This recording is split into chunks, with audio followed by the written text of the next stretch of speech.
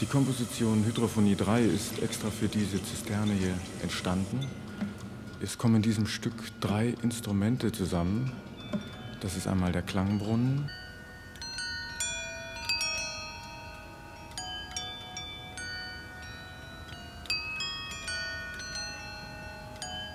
das Aquaphon.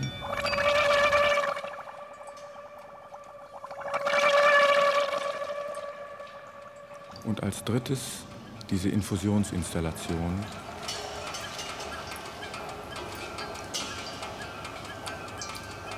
Und dieser Raum hier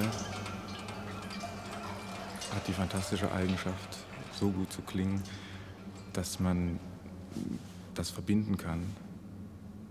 Und wir haben praktisch unsere musikalische Erfahrung mit dem Element Wasser jetzt zusammengetragen und haben dieses Stück konzipiert.